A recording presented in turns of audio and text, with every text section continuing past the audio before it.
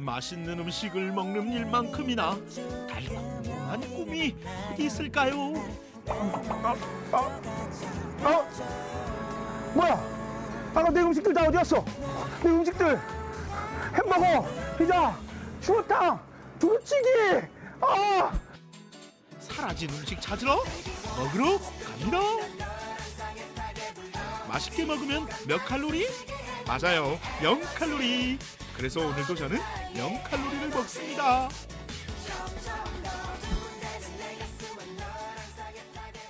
안녕하세요. 먹방자 선생이 춘향이 만나러 남원으로 왔어요.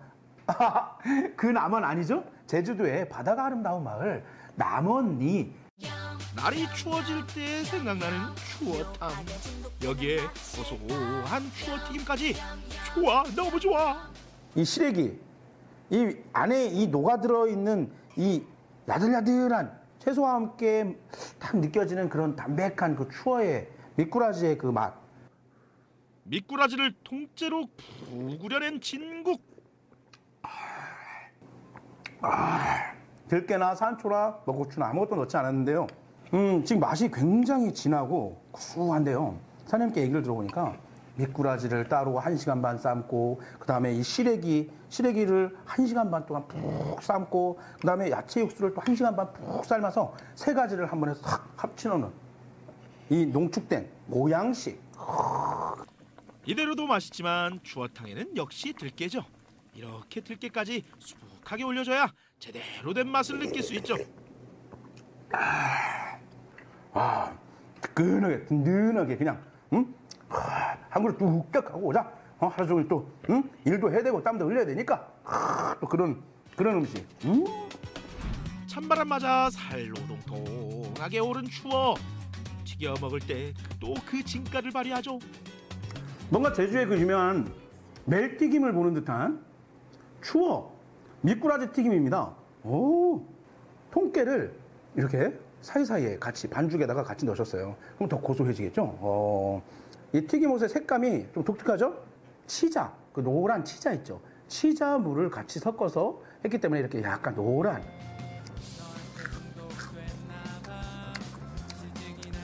머리는 찍어서 먹고. 아, 또 씹는 맛도 좀 있게. 음. 이거네. 이렇게 올려서 먹는 거네. 음. 음.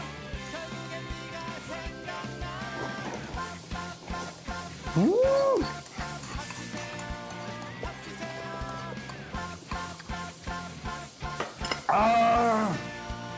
여러분, 한 그릇 뚝딱. 아, 정말 이 방송을 통해서 저는 보양을 하는 것 같아요. 매주 이렇게 약을 먹고 있어요. 음, 남원으로 오세요. 추어탕 먹으러.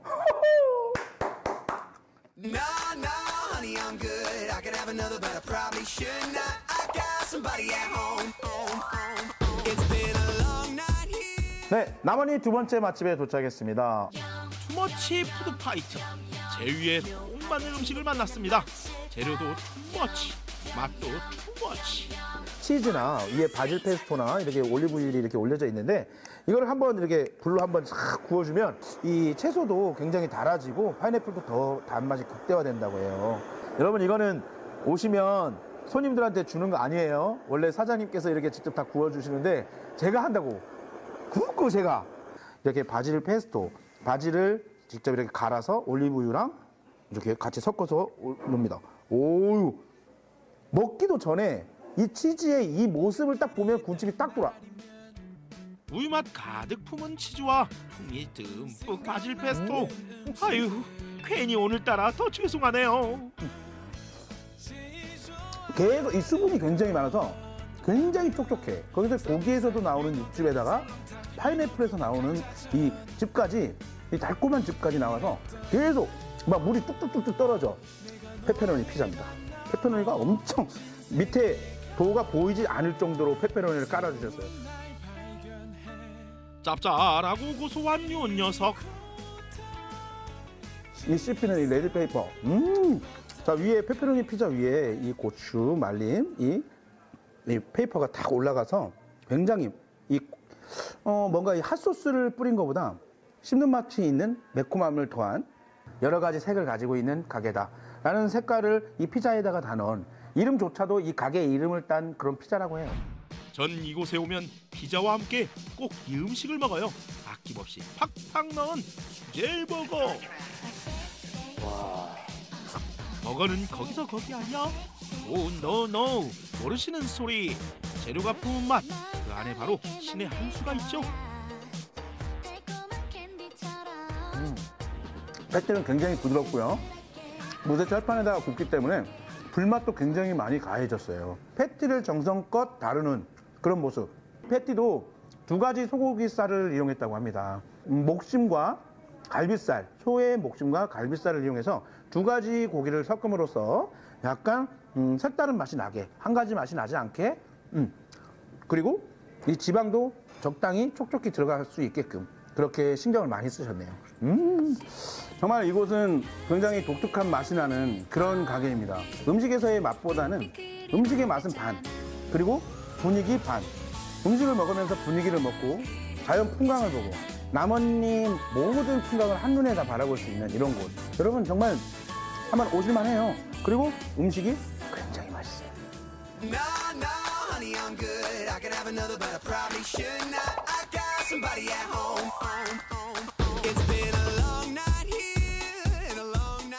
서민 식당. 정말 음, 택시 기사님들도 좋아하고 마을 분들의 입맛을 어릴 때부터 사로잡았던 그런 식당. 이 지글지글 끓어오르는 자태를 보시라. 영원한 밥도둑 부치기. 여기에 푹 끓인 김치찌개까지 오늘 밥솥 한 통 예약입니다. 두루치기. 왜 두루치기? 확 두루치기? 사장님께서 그러더라고요. 뭐 밥이라든지 뭐 살이라든지 이런 걸 가지고 돈을 안 받겠다. 일하시는 분들 어 고생하시는데 저 팍팍 드릴게요. 이러시더라고요. 사리도 다 공짜. 그런데 말입니다. 손맛은 더 기가 막힙니다. 이거지. 음, 이거 이거. 음, 돼지고기 쫄깃쫄깃하게 씹으면서 아삭아삭하게 이 파지랑 이 무생채 그리고 콩나물의 아삭아삭함 이게 싹 씹히면서 이 원래 좀 약간 강한 듯한 그런 양념을 이 채즙이 쫙 나오면서 쫙 중화시켜줘. 그리고 돼지의 기름이 쫙 나오면서 굉장히 맛을 싹 모아줘. 음. 달짝지근하면서 배지근한 양념 젓가락질을 안 할 수가 없네.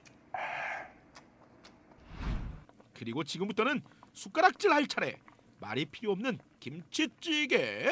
여러분 한 3인분 나왔습니다 3인분 아 한솥 가득 3인분 아니죠? 이게 1인분 이 국물 그대로 놔두실 건가요? 그렇죠. 사리를 넣어야죠.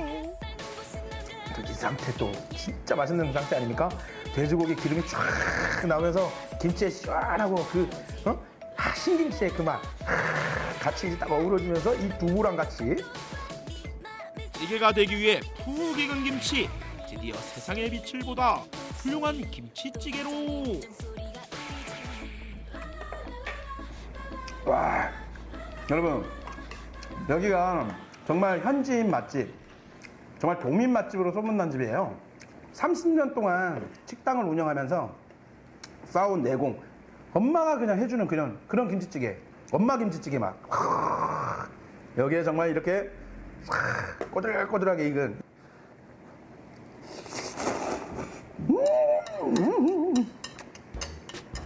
정말 오늘 먹는 마지막 맛집. 마지막 맛집은 음, 길거리를 이렇게 지나가는데도 택시 기사분들께서도 추천해 주시고 아까 갔던 식당 두 군데서도 아 거기 맛있는 곳이야 이렇게 할 정도로 굉장히 유명한 곳입니다.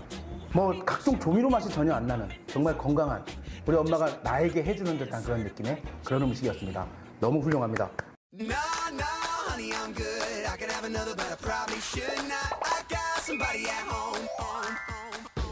오늘도 잘 먹었습니다. 외로운 나를 채워주는 건 명예도 아닌 바로 음식.